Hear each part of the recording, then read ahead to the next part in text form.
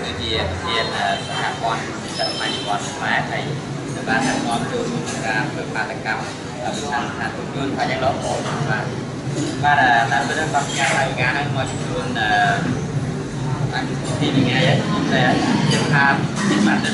ដោយសាររវល់ពេកហើយអឺទៅរកលេខទូរស័ព្ទទៅ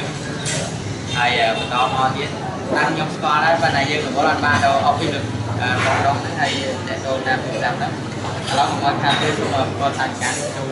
ដល់លោកអបសិទ្ធបាទនិយាយខ្លាយទៅដល់គាត់បាទខ្ញុំម៉ៃពិសេសជាថាព័ន្ធនិស្សិតបញ្ញវន្តកម្ពុជាបានបន្តបាតកម្មដើម្បីទាមទារឲ្យខាងរាជដ្ឋានទូតវៀតណាមធ្វើការសុំទោសជាពលរដ្ឋខ្មែរក្នុងការបំពេញប្រវត្តិសាស្ត្រពាក់ព័ន្ធទៅនឹងរាជប្រទេសកម្ពុជាក្រោមហើយសូមអរគុណទៅដល់សិទ្ធិមន្ត្រីគូសម្លេង នៅសហរដ្ឋអាមេរិកដែលបានឧបត្ថម្ភជាថវិកាសម្រាប់ខ្ញុំ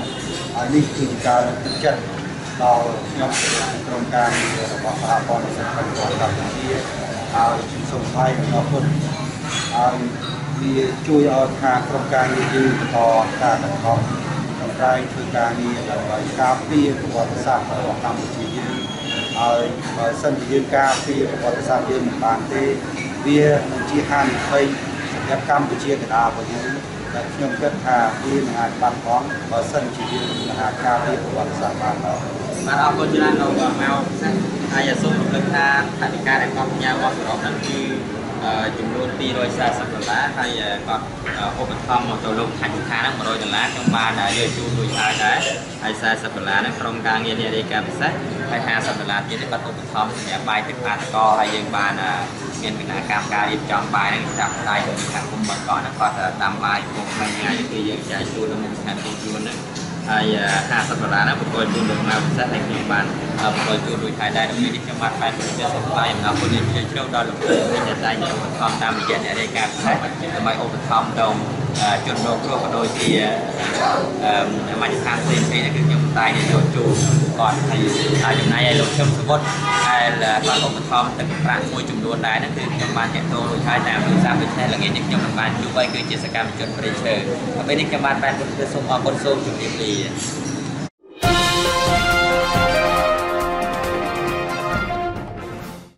ជំរាបសួរបងប្អូនជនរួមជាតិទាំងអស់ជាទីមេត្រីនៅពេលនេះខ្ញុំបាទប៉ែនពុទ្ធធាននិងក្រុមការងារអ្នករាយការណ៍ពិសេសបានមកដល់សហគមន៍បាងកក់សាជាថ្មីម្ដងទៀតហើយដោយបងប្អូនបានដឹងហើយថាសហគមន៍បាងកក់នៅពេលនេះកំពុងតែទទួលជនរងគ្រោះជាច្រើនអ្នកមកពីភូមិឡពៀងឃុំតាជាស្រុកកំពង់តម្លាញខេត្តកំពង់ឆ្នាំងក្នុងខណៈពេលដែលពួកគាត់បានអស់ដីអស់ស្រែអស់ផ្ទះសម្បែងហើយ ពេលនេះគឺមកជួបសហគមន៍បាងកក់មានសួរណាស្រីចាសហគមន៍បាងកក់សិស្សស្ត្រីទាំងអស់អត់តាន់ឃើញបរិសុទ្ធបង្ហាញមកអីមួយហើយនេះគឺជាអ្នកស្រីទេវនីហើយ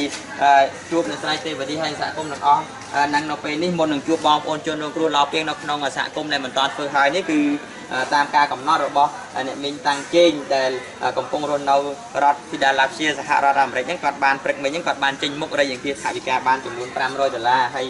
ថវិកា500ដុល្លារហ្នឹងគឺ គាត់ទូរស័ព្ទមកខ្ញុំគាត់កំណត់ជូនឧបត្ថម្ភអ្នកឡោពៀងរងគ្រោះ200ដុល្លារ50ដុល្លារប្រកេនប្រដេជគុណវត្តសាមគ្គីរាំងសីហើយ75ដុល្លារឧបត្ថម្ភសហគមន៍បាងកក់ហើយនឹងក៏ដូចជាអ្នកស្រីទេវនីផ្ទាល់ហើយនឹង50ដុល្លារទៀតឧបត្ថម្ភក្រុមការងារអ្នករាយការណ៍ពិសេសដូច្នេះហើយនៅពេលនេះនៅពេលណាដែលមកដល់សហគមន៍បាងកក់ជួបសហគមន៍បាងកក់ដល់នាំដោយអ្នកស្រីទេវនីក៏នៅ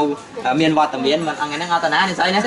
បាទហើយនៅមើលការខុសត្រូវមួយបងប្អូនឡប់ទៀតឥឡូវការងារបន្ថែមមករវល់បន្ទាប់ពីសហគមន៍ចេញតវ៉ាខ្លួនឯងដីធ្លីនឹងអត់ចាប់ហ្នឹងឥឡូវមករវល់រឿងជួយពួកគាត់បាទឥឡូវតោះកញ្ញាធានីកុំឲ្យខាតពេលបកគលថវិកាចំនួន75ដុល្លាររបស់អ្នកមីង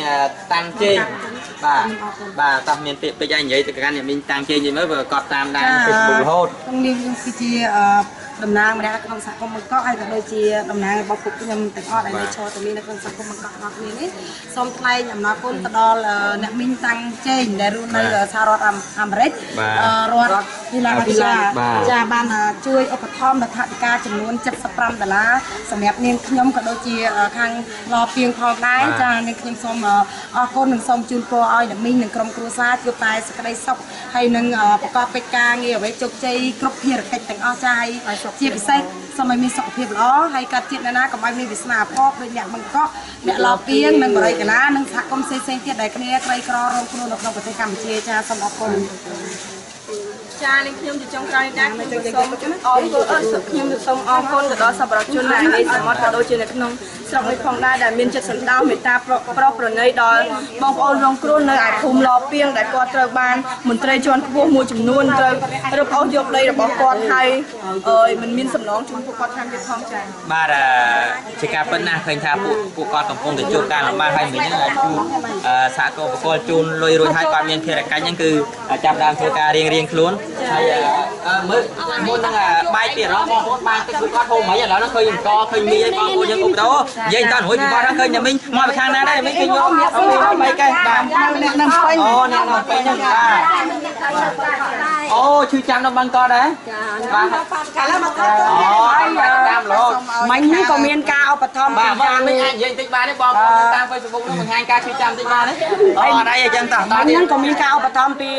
អាជីវករនៅសាអូស័យអូតែតែជូនអាជីវករសៅសៃនៅមួយមាមាននមកមានតែមីមានទឹកត្រីមានទឹកស្អ៊ីវហើយគាត់មានការឧបត្ថម្ភមកជារឿយរឿយមិនថាខាងសង្គ្រោះជាតិមិនថាខាងប្រជាប្រដ្ឋរងគ្រោះគឺគាត់មានការអនុញ្ញាតសូមមែនទែនដែលបងប្អូនយើងមានមានងើបឈរប្រឆាំងនឹងរបបផ្ដាច់ការមួយហ្នឹងអញ្ចឹងអ្វីដែលពួកយើងទទួលបានពេលនេះពីគណៈបព្វជិជនគឺមានការឈឺចាប់ខ្លាំងមែនទែនបាទកន្លែងទទួលណាមានបានតែការជួយចាំចាកន្លែងណាមានការមានសម្ដេចយុរដ្ឋមន្ត្រីហ៊ុនសែនទីនោះគឺមានការឈឺចាប់មានការទុកលំបាករបស់គេមិនមែនខុសពីពាក្យស្លោករបស់គាត់ទីណាមានគាត់ទីនោះប្រជាពលរដ្ឋគ្មានទុកលំបាកគឺខុសស្រឡះហើយបាទផ្ទុយស្រឡះចាចាគាត់ផ្ទុយស្រឡះតែម្ដងអញ្ចឹងចាំបងស្រីអញ្ចឹងសូមអរគុណបងនៅសហរដ្ឋអាមេរិកមែនបាទតើតាំងជេងចាតាំងជេងដែលមានតាំងជេងដែលគាត់មានការឧបត្ថម្ភមានដែលគាត់ទៅដល់ទីនោះគឺជាឋានសួគ៌ឋានសុខហើយគាត់មិនភ្លេចប្រជាពលរដ្ឋដែលដែលជាជនជាតិខ្មែររងគ្រោះនៅឯខាងខាងក្រោយនេះអញ្ចឹងសូមអរគុណអ្នកមីងយ៉ាងខ្លាំងសូមឲ្យអ្នកមីងជួបតែសេចក្តីសុខរស់ស៊ីមានបានហើយជួបជុំគ្រួសារចាកុំឲ្យមានការបែកបាក់ដោយពួកខ្ញុំអីចាបាទហើយយើងមើលឃើញទៅប្រហែលថ្ងៃហ្នឹងមិនមែនតែផ្សារអូស័យទេណាយើងឃើញថា3 4ផ្សារហើយដែលគាត់ដូចជាផ្សារថ្មីផ្សារទួលសកាយអីចឹងគាត់តែងតែឧបត្ថម្ភណាដល់តមីដល់បងប្អូនប្រជាពលរដ្ឋដែលគាត់អ្នកនៅរលពីងមកនៅស្នាក់នៅបង្កក់ហ្នឹងអញ្ចឹងយើងមើលឃើញថាប្រជាពលរដ្ឋខ្មែរដែលរងទុក្ខវេទនាមិនមែនគ្មានអ្នកគួរជួយគ្រប់គ្រងទេមានប្រជាពលរដ្ឋដែរមានការឈឺចាប់ដែរអញ្ចឹងពួកគាត់អ្នករងគ្រោះគាត់មានកម្លាំងនឹងតស៊ូណាក្លាហានទៅមុខទៀតដើម្បីទាមទារផ្ទះសម្បែងទាំងអស់គ្នាចាបាទអរគុណច្រើនបងស្រីហើយខ្ញុំបាទប៉ែនពុទ្ធធាក៏សូមថ្លែងអំណរគុណដល់អ្នកមីងតាំងជេងផងដែរដែលតែងបានចេញមុខរេងគិសថាវិការសរុបបាន500ហើយខ្ញុំបានរៀបរាប់អស់ហើយឃើញបន្តិចទៀតហ្នឹងយើងនឹងទៅវល់សាមគ្គីរាំងសៃកញ្ញាដើម្បីប្រកេនថាវិការនេះចង់ឲ្យអូនខាងបាទជួយអបអរពួកកម្មករណានៃអ្នកលក់ដូរនៅតាមផ្សារបាទបាទហើយបន្តិចទៀតយើងនឹងទៅវត្តសាមគ្គីរាំងសីនឹងប្រគេនថាវិការហ្នឹងហើយក្នុងនោះអ្នកកញ្ចេះហ្នឹងក៏បាន125ដុល្លារផងដែរហើយដូច្នេះហើយសូមមហាសទ្ធាជ្រះថ្លារបស់បងប្អូនសពរដ្ឋជនជាពិសេសអ្នកមីងតាំងជ័យយើងខាមថែរក្សាអ្នកមីងជារៀងរហូតហើយសូមឲ្យឆន្ទៈក៏ដូចជាមហាសទ្ធាជ្រះថ្លានៅតែបន្តកើតមានដើម្បីជួយជនរងគ្រោះជាបន្តទៀតហើយជាក្នុងឱកាសនេះក៏សូមថ្លែងអំណរគុណដល់អាជីវករផ្សារអូស័យផ្សារអូឡ িম্প ិកផ្សារថ្មីផ្សារទួលចកែបាននៅជុំវិញសហគមន៍បាងកក់នេះដែលបានចូលរួមឧបត្ថម្ភមានស្បៀងអាហារមានសម្ភារបំពាក់ខោអាវទៅជុះគួយអីហ្នឹងគឺគ្រប់បែបយ៉ាងហ្នឹងគឺធ្វើម៉េចឲ្យជនរងគ្រោះយើងមានភាពប្រសើរឡើងនៅក្នុងការការតវ៉ានេះថាយ៉ាងណាបាទនៅពេលនេះខ្ញុំបាទប៉ែនពលវិទ្យាសូមអរគុណសូមជម្រាបលាហើយសូមនាំអារម្មណ៍បងប្អូនទៅជួបជាមួយជនរងគ្រោះដែលកំពុងនៅក្នុងសហគមន៍នេះយើងនាំមានថ្ងៃនេះយើងមានពួយមានកតេលមានខ្នើយបាទបាទសូមអរគុណសូមជម្រាបលាមួយរយៈសិនបាទអត់មែនពាក់ព័ន្ធមែន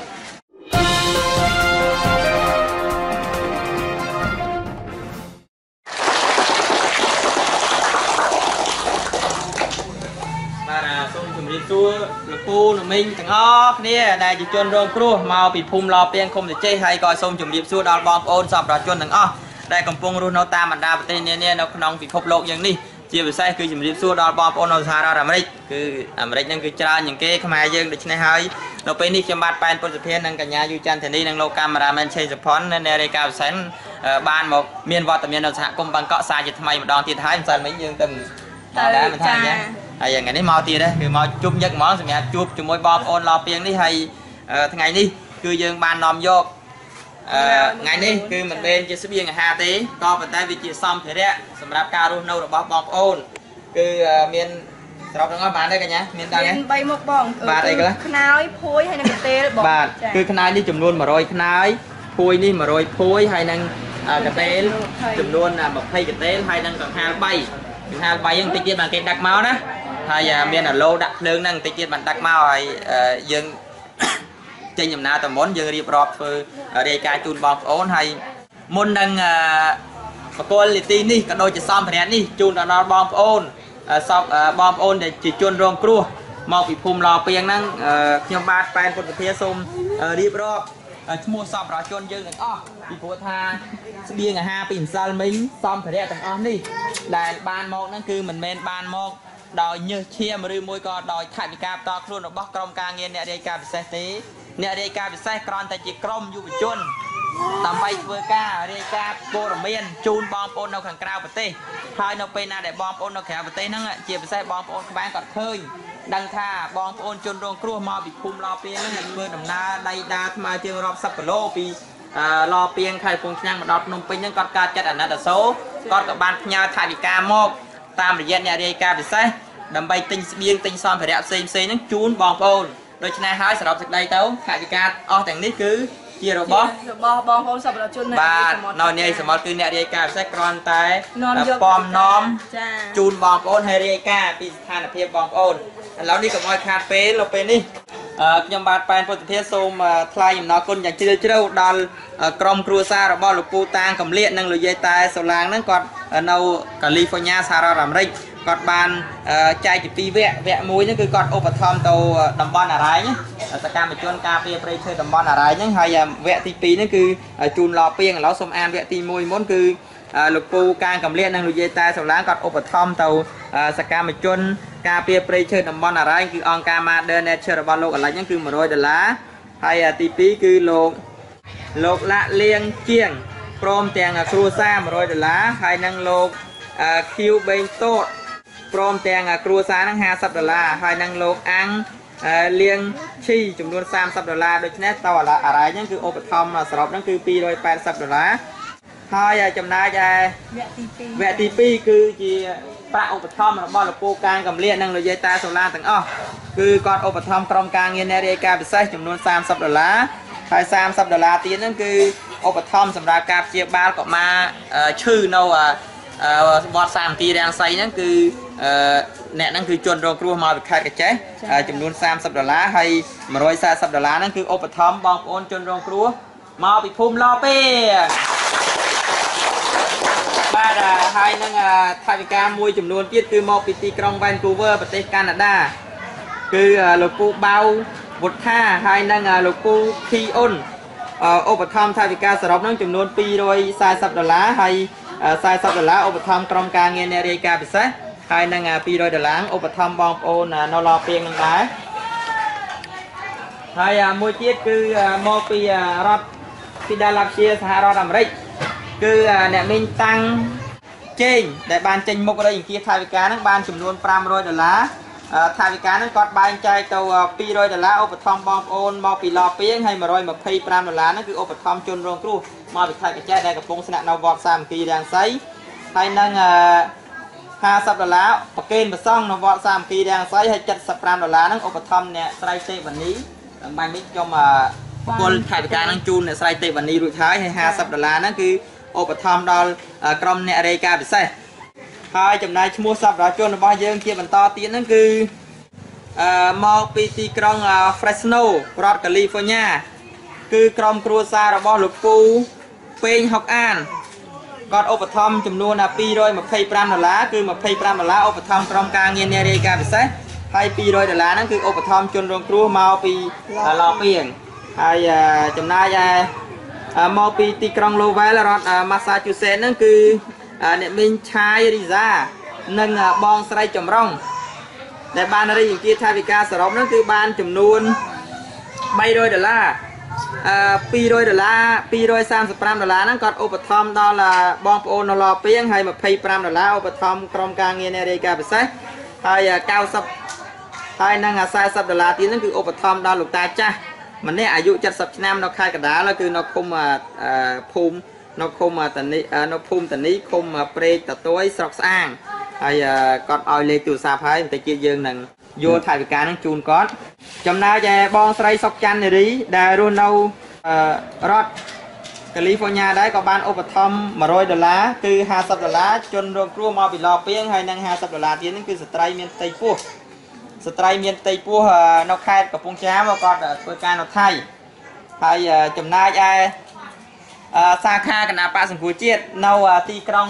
Houston រដ្ឋតិចសាសសហរដ្ឋអាមេរិកគឺសង្គ្រោះជាតិហ្នឹងគាត់ឃើញបងប្អូននឹងអឺដើរពីខេត្តកំពង់ឆ្នាំងមកហ្នឹងការចាត់អាណត្តិសូរក៏បានរៃអង្គាសថវិកាហ្នឹងគឺបានចំនួនអឺ400ដុល្លារ400ដុល្លារហ្នឹងគាត់ឧបត្ថម្ភក្រុមការងារអ្នករាយការណ៍ពិសេសហើយអឺ